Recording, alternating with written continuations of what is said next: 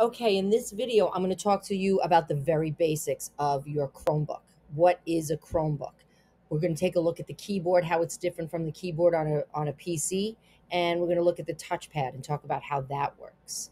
Now, a Chromebook is really designed just to be able to go on the internet and specifically to do Google Chrome on the internet. So you can go to any web pages, anything that's on the web, you can access from your Chromebook. And also, it's really designed to do the Google suite. So, Google Classroom, Google Docs, Google Sheets, Google Slides, Google, you get the idea. Um, and it's different because it doesn't have a big hard drive. So, you're not going to save a lot of stuff right to the machine. You're going to save your stuff to your Google Drive, which is in the cloud. Okay. There's no CD drive, and it is lightweight and very easy to bring with you so you have easy access to your information. Now, the keyboard is different. You will see there is no delete key up here, there's no caps lock key, and there's no home and end keys. The top row is important to know. It will be helpful to you. You could actually survive without the top row, except for maybe the power button, but um, there's some cool stuff to know. The escape key, if you're ever in full screen, the escape key brings you out. This lets you navigate the web front and back arrows. This um, refreshes your browser like you could do in the address bar. You have this little icon up there. It will also refresh your browser. This brings you to full screen. This, um, it says switch desktop mode. That just means when you press it, it will show all of your open windows on your desktop so you can click on the one you want to go to. These are your dimmers, okay, to for your brightness.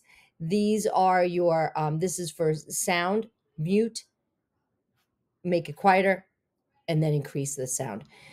Here is the power button. On yours, it may look like a lock, but it's going to be the same thing.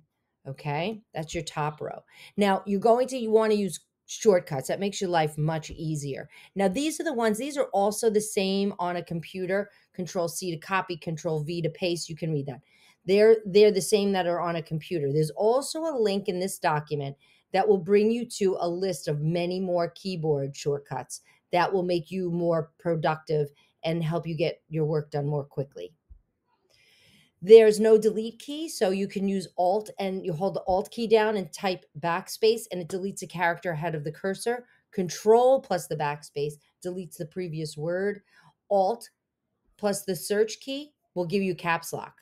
Okay, there's no caps locked on there, but if you tap Alt and the search key, you which is just above the right around by the uh, Shift key, um, that will allow you to do caps lock, and then you just do that again to turn it off. And once again, I gave you a link here. Same thing here. No home row to get to the beginning and the end of a document.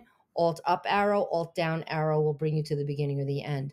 You can also take a screenshot. Control plus this um, button on your your uh, the top row.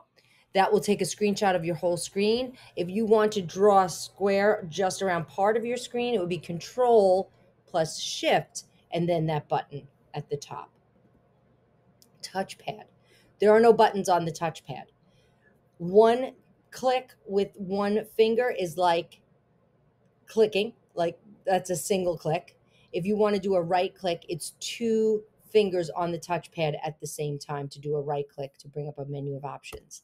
Scrolling, two fingers allows you to scroll. Two fingers up, two fingers down will go up and down. Two fingers side to side will obviously go side to side. All right, so that is just the basics. Keep looking at the videos if you need some help learning how to navigate now. Hope this was helpful. And if you have any questions, you can surely let us know.